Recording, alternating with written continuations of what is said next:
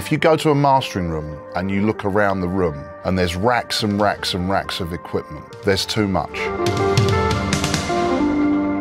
If there's too much, you could end up going round and round in circles and chasing your own tail. Some of the best is better than a lot of not the best. Beware of the man with only one gun. He probably knows how to use it. My name's Geoff Pesche. I'm a mastering engineer here at Abbey Road Studios. I'm going to demonstrate a few things about the way I work and give you a real overview and insight into the mastering process.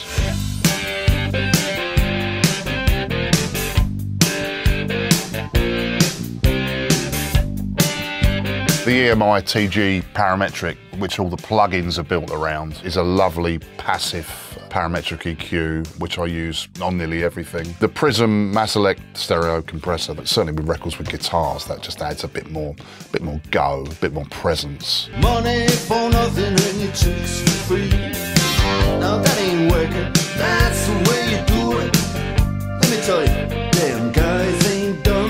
Because people create playlists now and they'll put a rock track next to a ballad, what I do sometimes with quieter tracks is I raise the level of the fronts and do a gain, small gain fade later in the, uh, in the track to bring the level back down again over a period of time, maybe 30 seconds or something, so nobody hears the track come back down. To get a little bit more of an, uh, an impact out of the front of the track when the start of the track is very low level. That is a trick that I do often.